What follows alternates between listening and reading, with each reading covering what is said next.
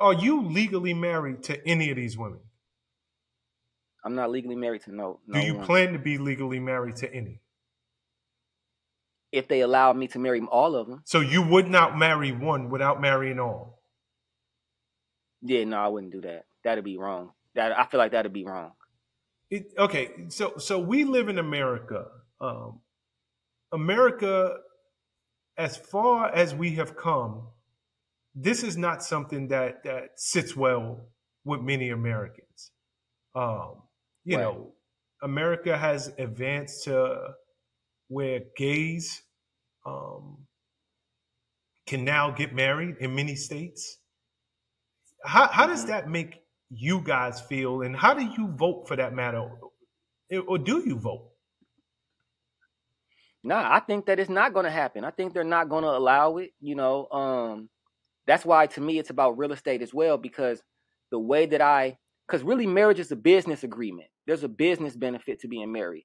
So as far as I'm concerned, I find other business, um, other ways we can entangle ourselves in business and benefit each other and show that I trust. So like, there's certain houses both of our name is on, and there's cars that I just put only in their name and there's other ways to show that I'm I'm uh trusting you on a business level and we're tying ourselves in, and then we have a trust fund as well.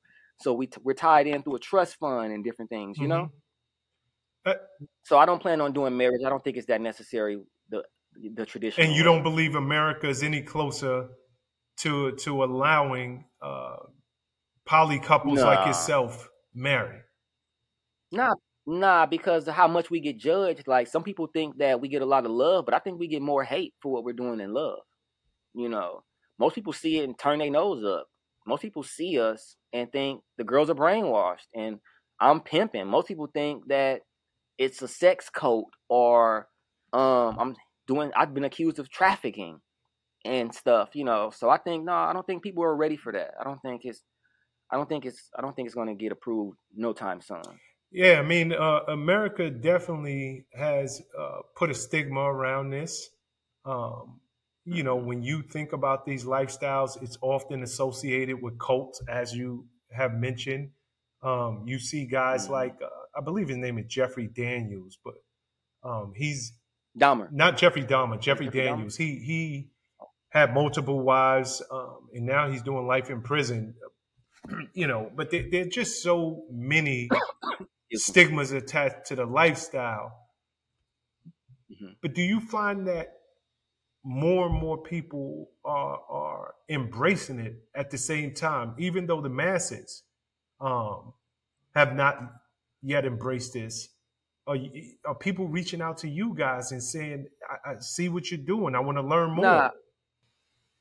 Yeah, but those are are an exclusive. Like to me, those are exclusive.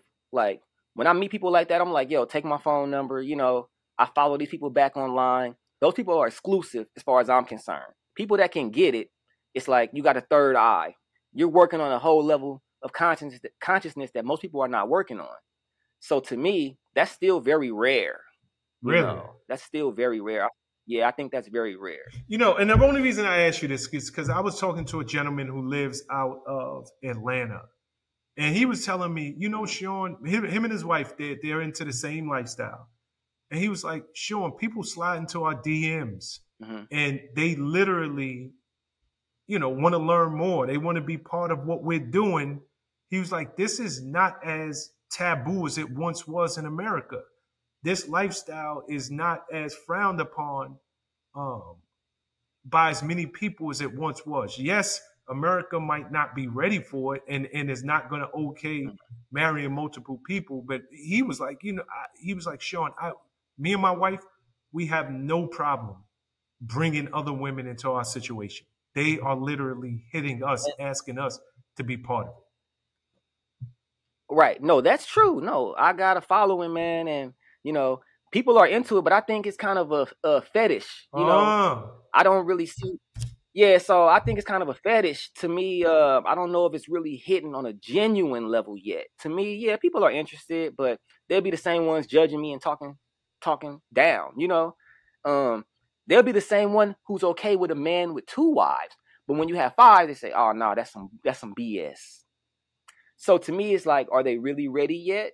If they're judging me, if my dynamics looks like a cult, but two wives is cool.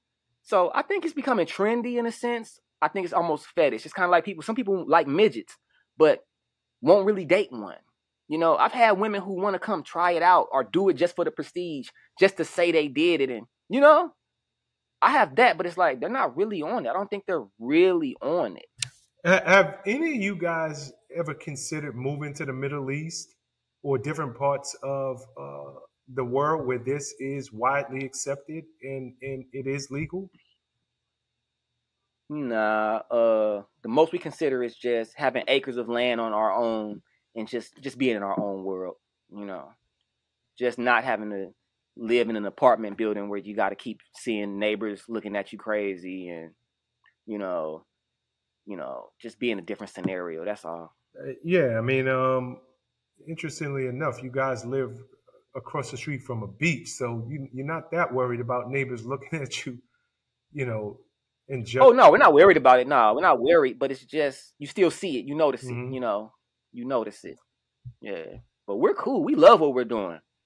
We we love it. You know, we feel like the world will get there, but I don't know if it's there yet. You know, I kind of feel like uh, I kind of consider it kind of like being a gay dude in the '80s or something, and it was like you know, the world was getting there, but it was like, man, you got to get through the 90s first and get all the way up to the 2010 mm-hmm.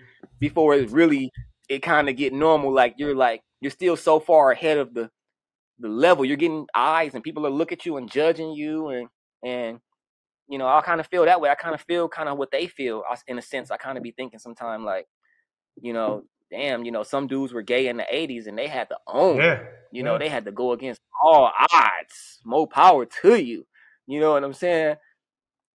That's where we're at with it right now, and I feel like yeah, it's still it's still not there. Even though like in the '80s they had Vogue and they had drag races and a bunch of stuff I've seen online that was going on in the '80s, but it's still I don't think it was it wasn't where it is now. No, you're absolutely right.